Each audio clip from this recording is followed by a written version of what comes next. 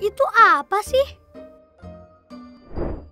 Libur sekolah kali ini rasanya aneh deh. Gak boleh main ke taman, gak boleh ke mall, main sama temenku juga gak boleh.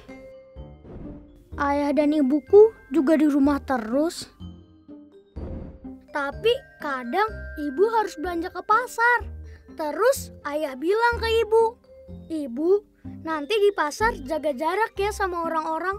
Jaga jarak, kok kayak mobil sih?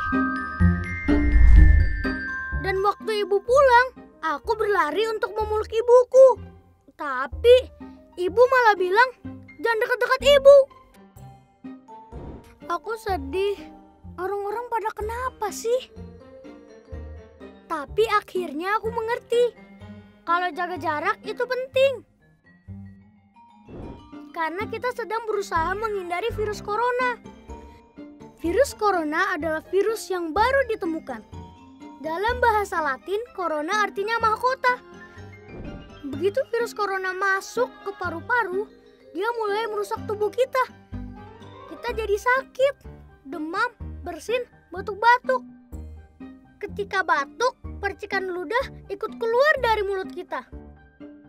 Virus corona dengan menumpangi percikan ludah kita masuk ke tubuh orang lain, kemudian menuju paru-parunya. Meskipun tidak semua orang jadi sakit, tapi virus corona dapat menempel pada siapa pun. Karena virus ada di mana-mana. Di rak buku, di taman bermain, di mainan, dan mengkilap. Kalau ada orang yang mencet tombol, kemudian dia menyentuh mulutnya, virus corona bisa langsung masuk. Virus corona itu licik banget. Tapi aku tahu caranya biar terhindar. Salah satunya adalah dengan memakai masker. Ketika virus yang melesat ke arah kita, masker langsung menghalang mereka. Aku juga lebih sering cuci tangan pakai sabun alias CTPS. Aku sukanya bikin busa yang banyak untuk membunuh virus-virus itu. Dan begitu mereka mati, langsung kubilas dengan air bersih. Wih, aku menang! Aku menang! Tapi ada juga orang-orang yang tidak bisa jauh dari virus corona, yaitu para petugas kesehatan, seperti dokter dan perawat. Dengan memakai alat pelindung diri, mereka berperang melawan virus corona setiap hari. Mereka tidak kebal, tapi mereka pemberani, tulus membantu. Semua daerah juga berjuang bersama melawan virus ini. Pemerintah membuat peraturan agar kita semua selamat.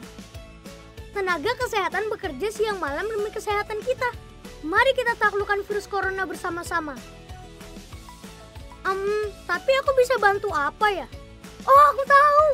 Asal kita tetap di dalam rumah, virus tidak akan menyebar luas. Jadi, aku mainnya di rumah aja. Sementara orang dewasa berperang melawan virus corona dengan caranya masing-masing. Kita tunggu saat virus corona mengakui kekalahannya. Wah, jadi aku bisa main lagi. Hahaha.